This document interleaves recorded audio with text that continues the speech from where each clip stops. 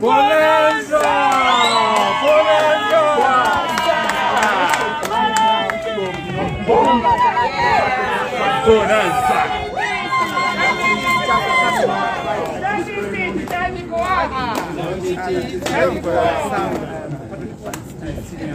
Try to get you know, just um, an interview. we mwina wako atapenda lama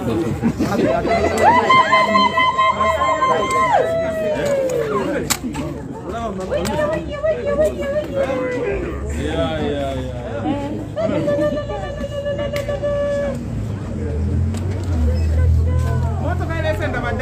Iyo idi hapa mpa. Father, we just I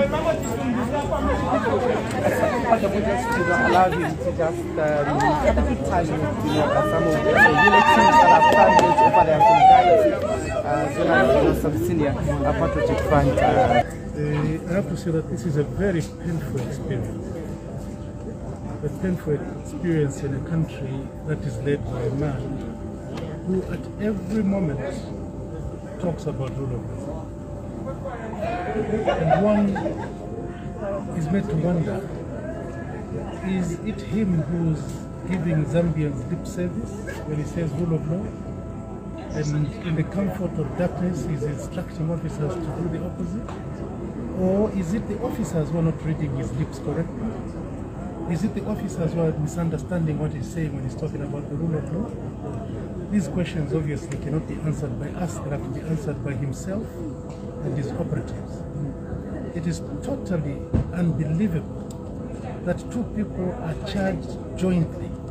One is given bond and the other is denied bond. And when you look at the composition of the two, one was a civil servant, the other was a politician. Is this an indication of the fact that the man who's governing this country is so against anyone who opposes him? Is it because Malanji belongs to the opposition PF that he must be denied bond and that lawyers must battle to secure bail for him? One other thing is to be said that as things stand now, with what happened recently in Parliament, the hopes of Zambians now only in the judiciary. We cannot trust the executive anymore. We heard how the head of state has been chastising our members of parliament and literally telling them to shut up, not to talk in parliament.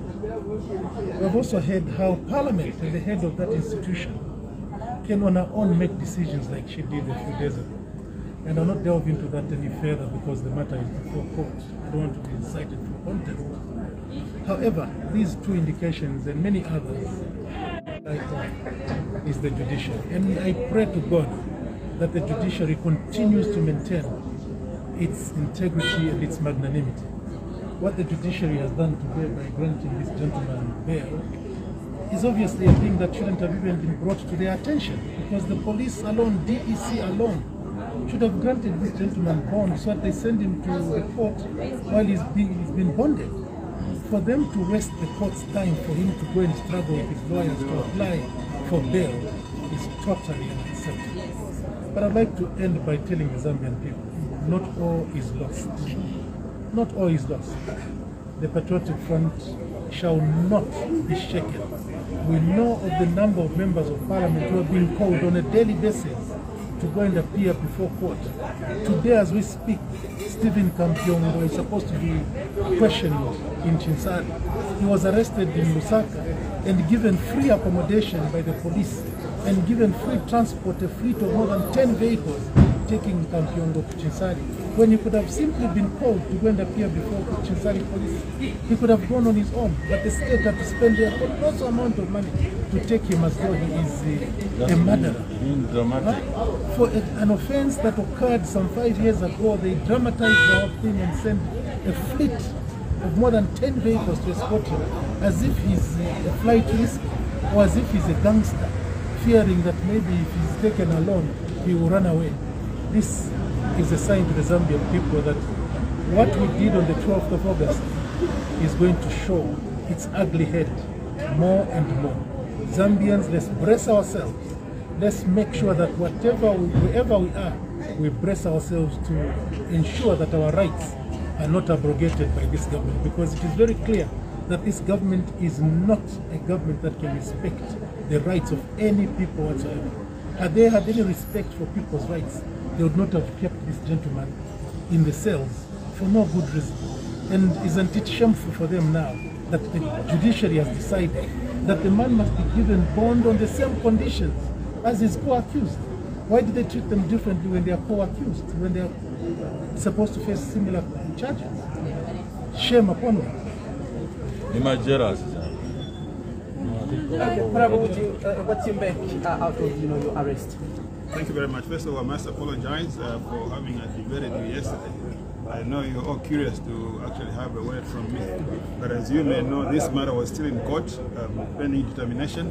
So I didn't want to be contemptuous. at least I uttered something that would have found me to be contemptuous with the uh, court. Like the Vice President said, you know, as for now, our backbone is actually the judiciary. Uh, when you look at uh, what I've decided for, it, it's actually not prosecution but persecution records in, our, in the banks in Zambia are available. We've gotten loans from these banks, millions of dollars. The records are available. And to cite someone just because you're a politician, to say every politician must be painted black, to be a thief, is actually very irresponsible. I will not say much for this matter is actually going to court, but I can assure you that uh, our lawyers will keep you informed on how, how, how All right. Okay, thank you so much. Thank you so much. All right. Okay, so the habits you are watching music on the go.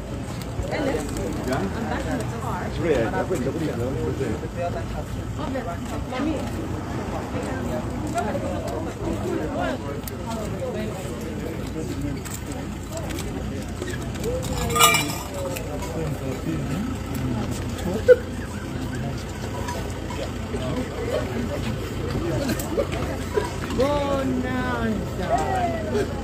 quarta-feira. Bonanza! Yeah. Bonanza! Bonanza! Omoyo nela quarta-feira ndalama. É.